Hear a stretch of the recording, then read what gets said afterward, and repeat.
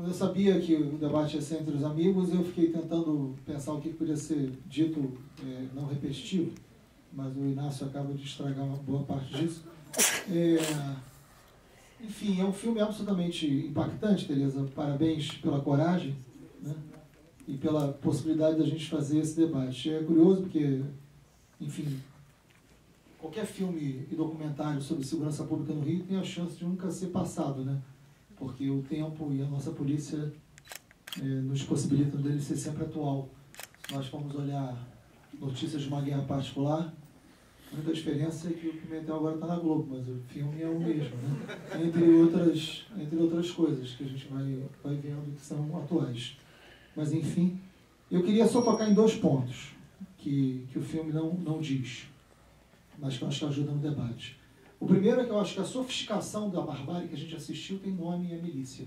Né? A sofisticação dessa lógica que a gente, bárbara, assustadora, inaceitável, que a gente enfim, se incomodou tanto assistindo, tem nome. Né? Essa possibilidade de agir assim, essa possibilidade de decidir entre quem vive e quem morre, com tamanha frieza, é, com tamanha naturalidade, tem nome como consequência. É o domínio da vida das pessoas na sua complexidade. O nome disso é uma máfia chamada milícia, que hoje domina uma quantidade maior de territórios do que o próprio tráfico de drogas e tem projetos de poder. Né?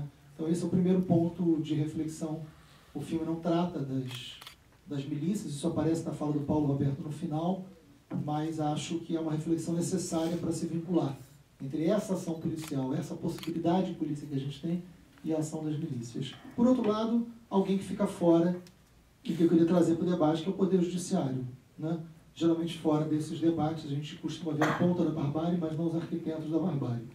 Os autos de resistência, que a gente tanto falou, que a gente já fez audiência pública, que a gente tanto já fez coisas aqui, o auto de resistência só acontece porque eles são arquivados, arquivados pelos juízes. E muitas vezes arquivados com a conivência do Ministério Público, diga-se passagem. O auto de resistência é um problema porque tem um policial que atira, mas tem um juiz que arquiva. E é tão responsável quanto quem aperta o gatilho.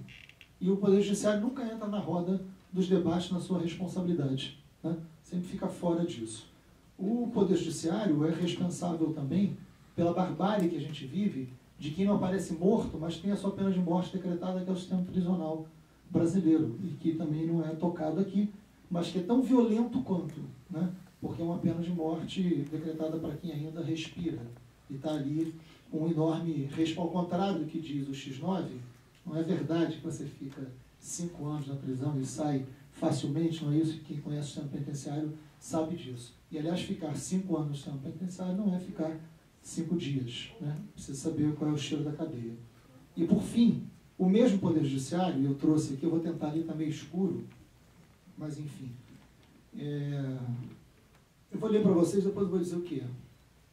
É uma, enfim, é um mandado de busca, mas prestem atenção no texto.